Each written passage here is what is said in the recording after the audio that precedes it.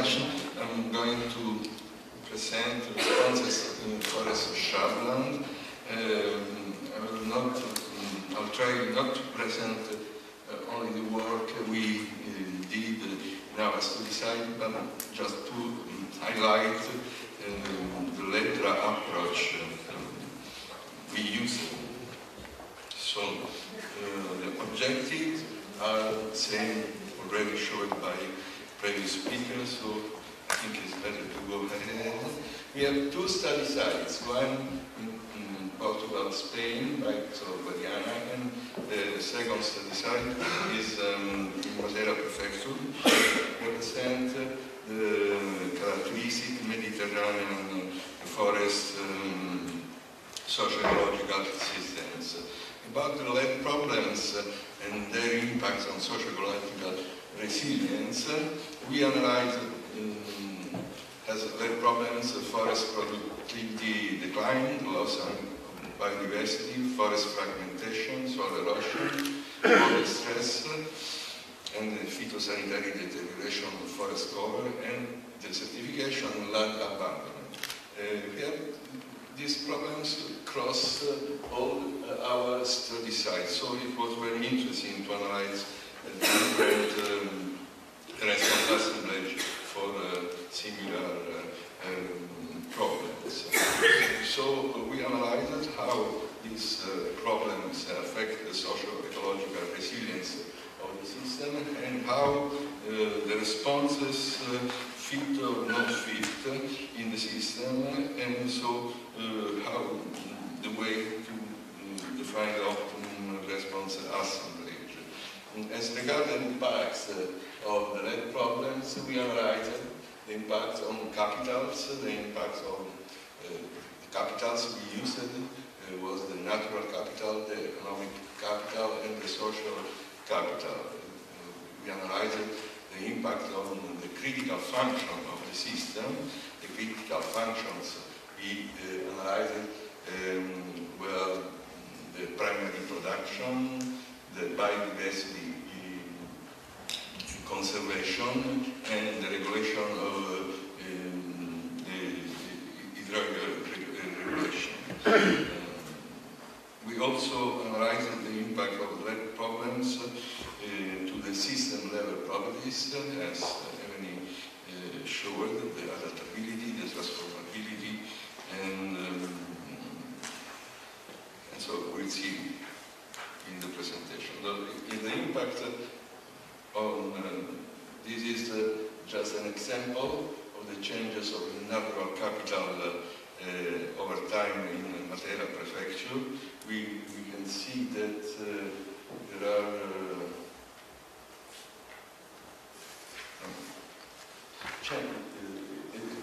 just to show an example of the changes in the years between 96 and 99, we have uh, changes uh, among different municipalities uh, due to the land abandonment and the, and the changes uh, in the management options. So there was a very mm, important change in the structure of the uh, natural capital. In the second period, the changes are almost homogeneous uh, and there is only an increase of the natural capital. So is just to highlight how this kind of analysis can uh, detect changes and help us to analyze the resilience of the system. Same uh, analysis we made for the economic capital um, and the critical function. Here is an example on the primary production, how the primary production changed over times, and all the level properties. The low level property we derived where the potential available for change, robustness, diversity, like other study sites, connectedness and modularity.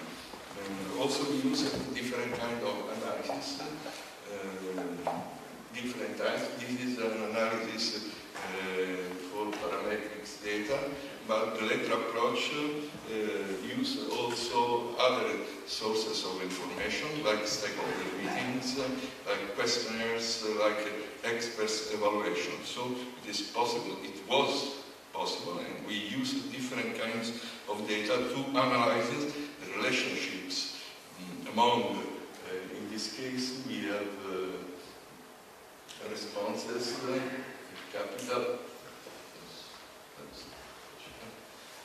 delay problems, critical functions, and uh, policies, population dynamics, forests, that are the responses. And, uh, about the drivers uh, or the causes of the problems we analyzed, uh, they were referred mostly to agriculture, forest and wood extraction, tourism and recreation, forest fire, climate change, policies, and uh, for Baixo Guadiana, extractive uh, activities like mining. So these were the drivers that acted on our uh, socio-ecological systems. Um, this is the scheme, the framework we use. Uh, just uh, one thing about uh, the framework, the responses. Uh, here we can see, this is just an example, with forest fires in terms of effectiveness of protection and prevention measures. The effects are uh, at the same time can be negative for some uh, component of the capitals and in the same thing. Uh, or in this case are negative with the social components or negative in natural components. So response may be negative and positive at the same time, but maybe positive in one period and negative in another period. This is uh, the complexity uh, of the approach. Uh, forest fire is in a driver of degradation or land degradation, but maybe at the same time a response, for example, to produce uh, pasture for grazing. So uh, the complexity of the approach uh, we used permit to analyze the system in this way and to find best solution. Mm. This is a response, uh, for example, that responses uh, as far as policies and sustainable forest management that we have uh, in uh, Basilicata region that has shows all positive uh, uh, answers, impacts on the socio-ecological system because policies that were applied in the management option in the last periods were so good. So the effects were all positive.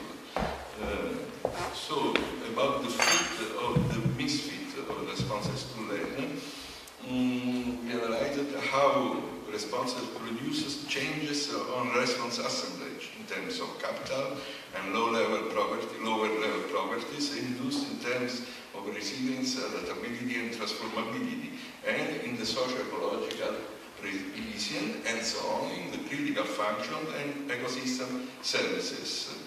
Uh, and this is, was made based on, uh, on the analysis of the response assemblage, evolution on a spatial and temporal scale. Uh, this is uh, an example of the structure of the data we analyzed.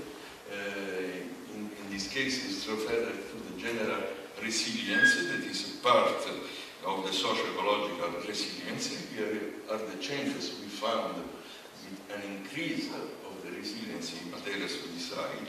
This uh, the second, the other part, the, the analysis of the adaptability with the variables we used and the scores we detected. And here is the result of the application. And here is the evaluation and assessment of the socio-ecological resilience for the two periods. For the two periods, uh, we have in Matera an increase of the socio-ecological resilience. Uh, a, a, problem that we have uh, about uh, evaluating the optimal response assemblage is how to increase in the socio-ecological resilience of a system. Uh, one choice should be, could be to reduce the misfit of one response, but another choice uh, could be to increase the fit of another response. the result could be in a general sense the same, but in one uh, place uh, could be better to reduce the misfit in another place or in another uh, period could be uh, enough to increase the fit. The result is an increase of socio-ecological resilience. But the, the assemblage, the optimal arrangement, depends on the uh, specific condition of one single uh, uh, study site in one single period. Uh, here are the framework we used, um, and we analyzed how the measure for forest fire fit and uh, impact on the lower level properties and we had grading different responses in terms of, of uh, policies, uh, forest management plans and population dynamics and so on. So the element uh, we used was um, were understanding the, the, specific and local natural and economic and social context uh, Eh, evaluating the sociological resilience of the socio-ecological system over time and defining the core optimum, optimal response assemblage by evaluating the effects of different response assemblage on the cells in terms of capitals and lower level properties and thus on socio-ecological resilience, critical function and ecosystem services. This is the final scheme we used to define the optimal response assemblage. We, we uh, so uh, have here the, the relationship with the, the, lower level properties uh, and the measures, the, the referring laws, and the fit of responses, and the optimal response assemblage.